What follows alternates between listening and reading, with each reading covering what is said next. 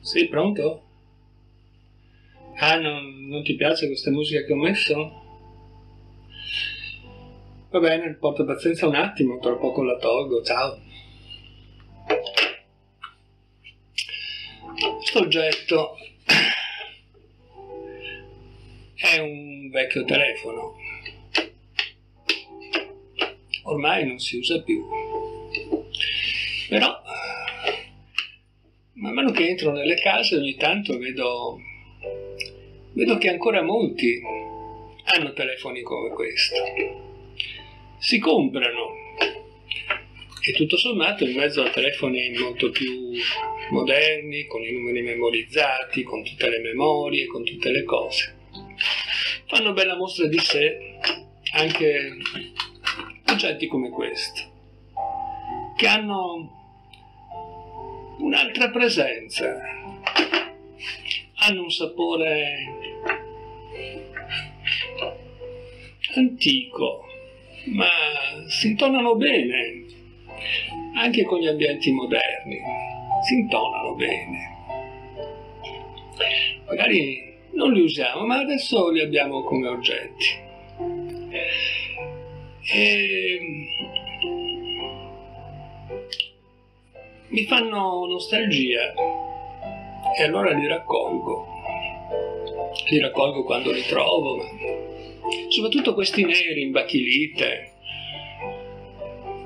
che pesano, hanno un loro peso, hanno una loro consistenza, hanno un, un disco combinatore che, che ha un suo rumore, che ha una sua velocità. E poi sono oggetti che servono soltanto a fare quello. Uno con un telefono così non può che telefonare. Non gli viene in mente di andare per la strada a fare le fotografie. E non gli viene in mente neanche di mettersi alla cornetta ad ascoltare la canzone del, del suo divo preferito meno ancora gli viene in mente di guardarsi un film in DVX insomma no con una cosa così eh, si può solo telefonare ed è bello pensare che c'è un oggetto che serve solo per quello, che quando si adopera quell'oggetto si può fare quello. Che si può pensare di telefonare e basta. E magari finché si telefona si pensa soltanto a, a quello che si dice per telefono. Si sta ad ascoltare quello che, che l'altro ti dice. Non fai altre cose, non fai due cose in una, tre cose in una non la fai tu e non la fa neanche il tuo oggetto, perché questo oggetto sa fare solo una cosa. E ormai ci siamo abituati ad avere oggetti sempre più piccoli, sempre più portatili, che fanno sempre più cose. E allora con il telefonino si fotografa, si mandano messaggini, si scrive, si si ricevono, si mandano le telefonate, si, preselezionano i numeri, si, si, guardano le fotografie, si leggono i messaggi, si, si guardano magari i film e poi ci sono gli iPod, ci sono tutte queste cose qua e si legge anche, magari si leggono gli ebook sul, su quello schermino piccolo piccolo che è del, del, del telefonino. E allora, giustamente, per esempio, vedevo ieri sera eh, un video qui su YouTube fatto da, da, da due ragazzi i quali mh, mm, avevano anche acquistato l'iPod da Apple e, e si chiedevano ma a che cavolo serve questo oggetto grande che noi non possiamo portarci dietro perché siamo abituati ad avere un oggettino piccolo e ci teniamo in tasca, ce lo teniamo dappertutto, ascoltiamo, mettiamo le cuffiette, siamo in mezzo agli altri ma siamo soli. E, e con questo oggettino piccolo facciamo tutto, ma anche leggiamo, leggiamo come leggiamo i messaggini, ci leggiamo anche, anche i libri e poi facevano vedere questo oggetto più grande, mm, già leggero, insomma, questo iPod della Apple, in realtà a cosa serve? Noi non, non riusciamo a portarcelo dietro, allora magari, eh, qui avevano una battuta originale, magari Apple chissà l'ha fatto apposta perché in modo che se lo rubino e allora invece che venderlo una volta ce lo vende due volte insomma e, e un altro ragazzino sì anche questo diceva ma in realtà insomma io forse l'avranno fatto per i vecchi questo grande l'avranno fatto per i vecchi ma a me non serve perché io leggo anche dal, dal monitor di quelli piccoli. Aveva ragione. A modo suo perché noi vecchi siamo tanti.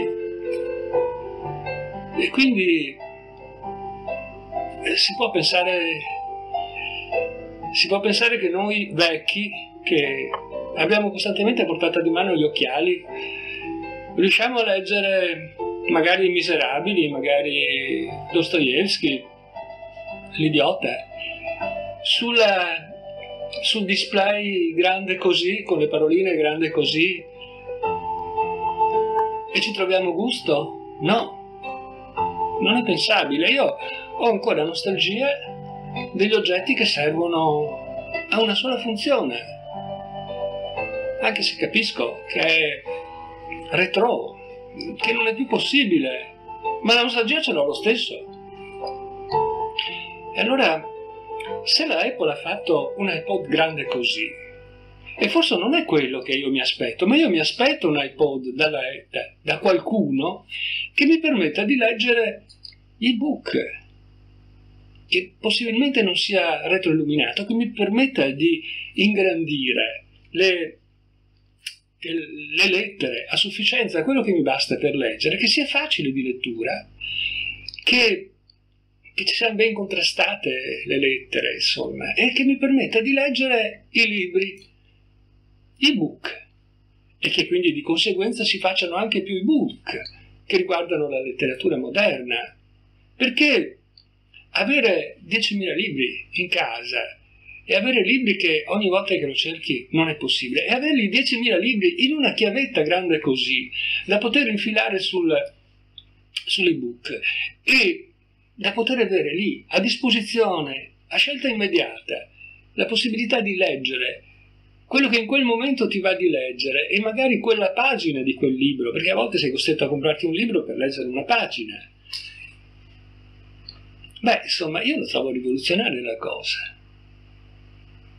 E a me basterebbe solo quello, non mi interessa che faccia le fotografie, io non voglio andare in giro a fare le fotografie, voglio andare in giro con la vecchia macchina fotografica a fare le fotografie. E anche se voglio in giro a fare le riprese, vorrei anche poter andare in giro con una cinepresa che faccia solo le riprese. E se vado in giro con, eh, con un apparecchio per ascoltare musica, solo per, per ascoltare musica ma devo decidere io cosa voglio fare quando vado in giro, non avere in mano tutta una serie di funzioni che poi non so adoperare e non so cosa farmene.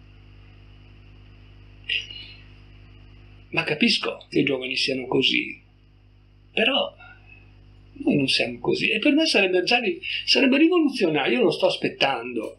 Allora, ragazzi, io sono vecchio, lo sto aspettando questo, questo, questo lettore, questo lettore che mi permetta di, di leggere senza stancarmi troppo gli occhi, di vedere lettere e ingrandirle quanto, quanto mi pare. E di leggere soltanto gli ebook, che sia leggero, che me lo possa tenere a letto, che lo possa tenere in poltrona, che non abbia bisogno di una lampada per essere illuminato.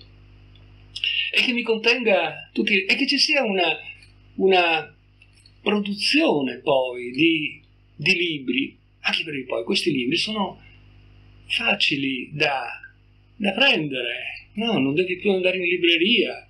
È una rivoluzione. Al limite tu puoi scrivere un libro, lo metti in internet, hai il file e, e uno se lo prende e se lo legge.